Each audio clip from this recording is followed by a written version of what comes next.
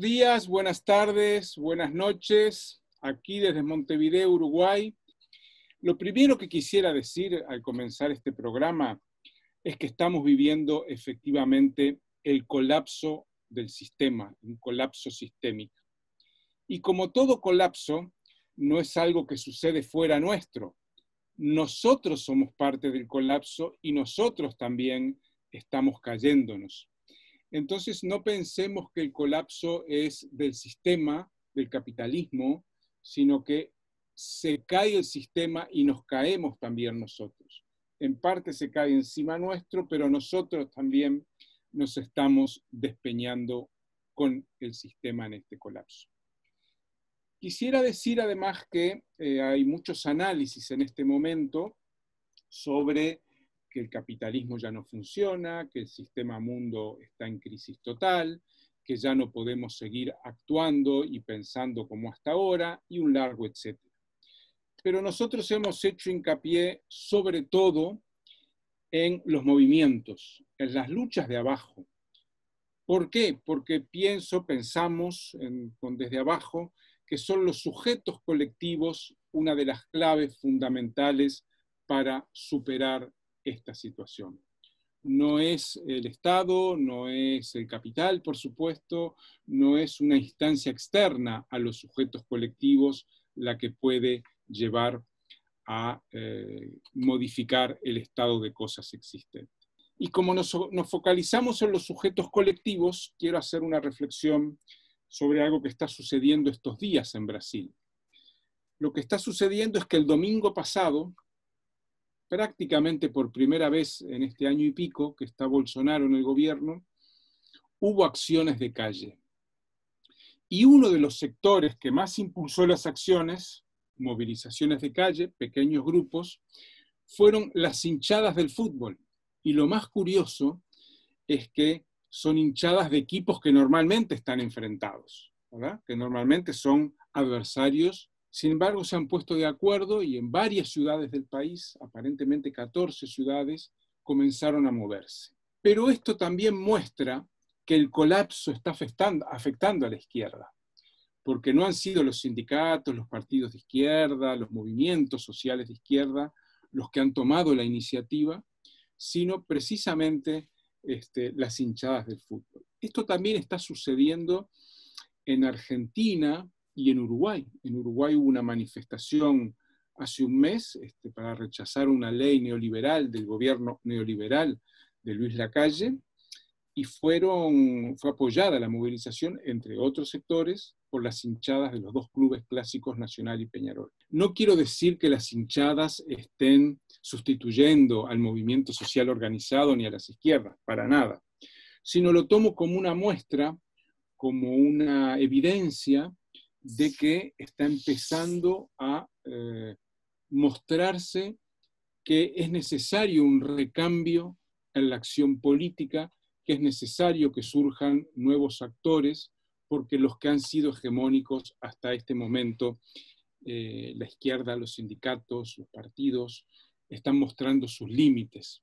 Y eso sí es un toque de atención que me parece fundamental para reflexionar en medio de esta pandemia qué nos falta, qué necesitamos construir para estar a la altura de lo que estamos necesitando, que es fuertes organizaciones populares enraizadas en territorios y eh, capaces de movilizarse y de construir algo diferente, algo que las hinchadas, creo yo, tal vez me equivoque, hoy no son capaces de construir.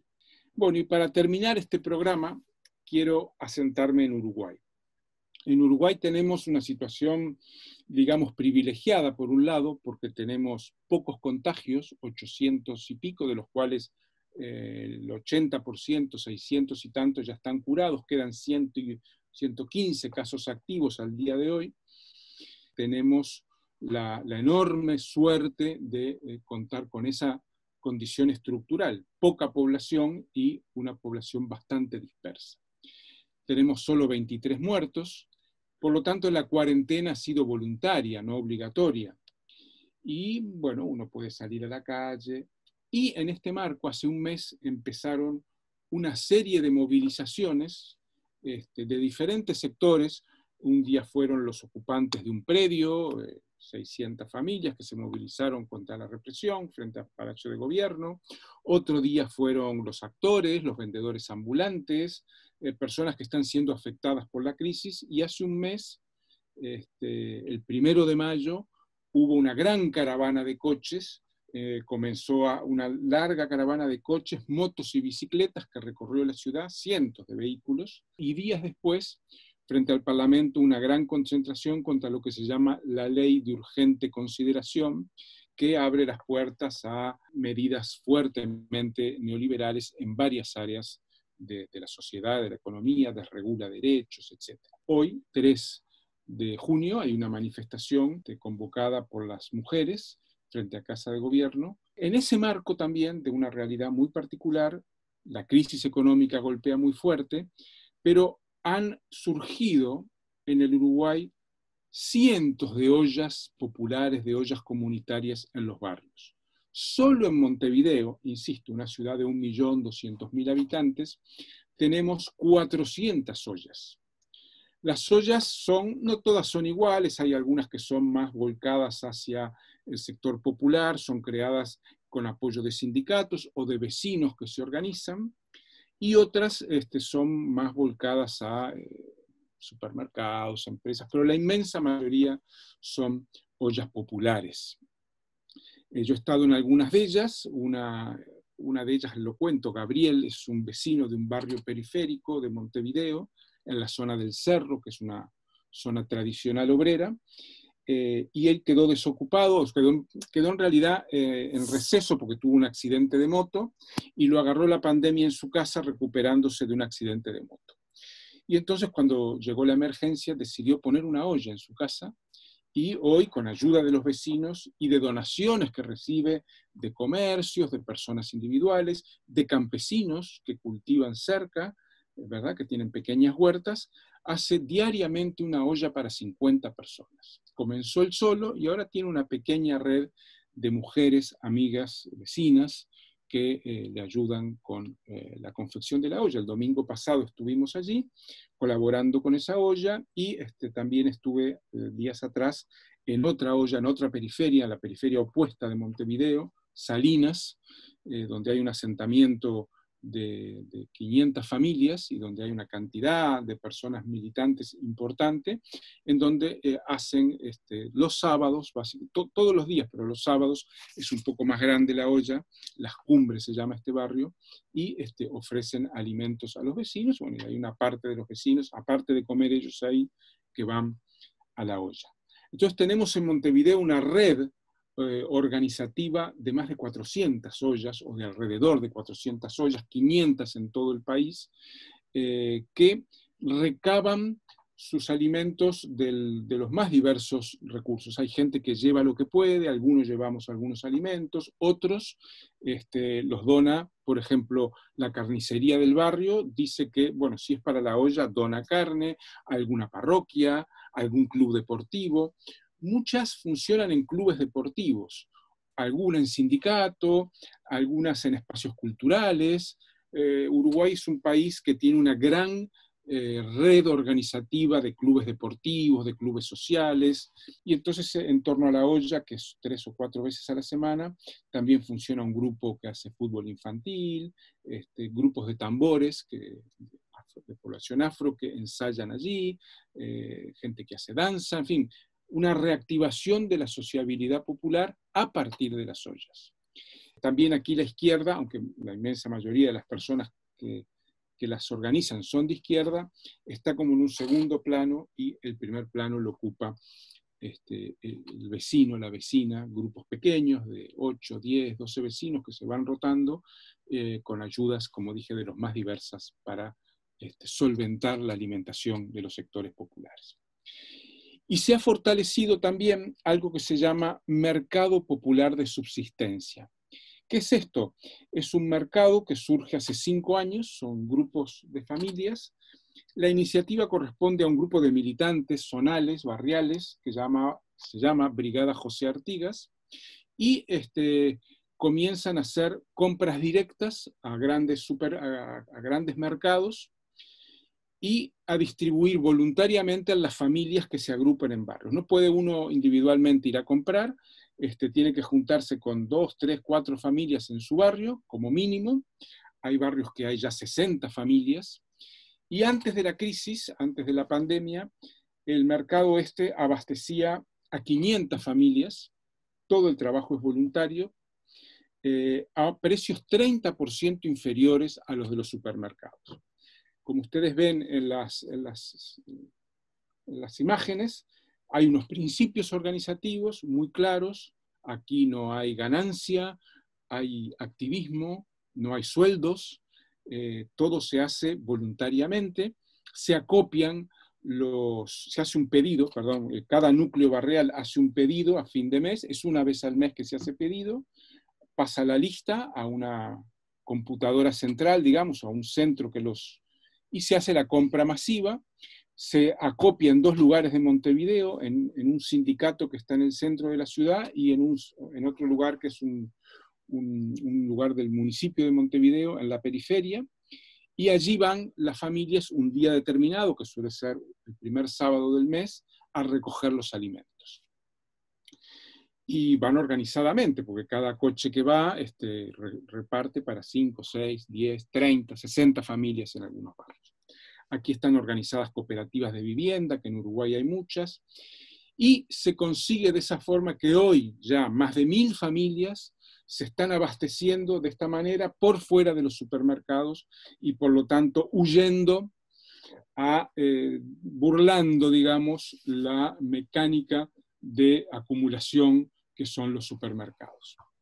Y esto me parece que es importante y lo quiero dejar destacado porque en cada país la forma de organización ha sido distinta, capaz que alguno que siguió todo el ciclo recordará que uno de los primeros programas en los bañados de Asunción, Paraguay, había ollas que se instalaron por parte de militantes que, insertados en el barrio, eh, donde se ponía un cartel que decía el pueblo cuida al pueblo, ya que el Estado no nos cuida. Quisiera, a modo de síntesis, este, explicar que he encontrado tres o cuatro aspectos comunes en los movimientos este, en este periodo. El primero es lo que, yo, lo que han llamado los NASA del Cauca, la minga hacia adentro. O sea, los movimientos que se vuelcan hacia su interior para este, reforzarse, para eh, intensificar eh, la organización de cada sector social.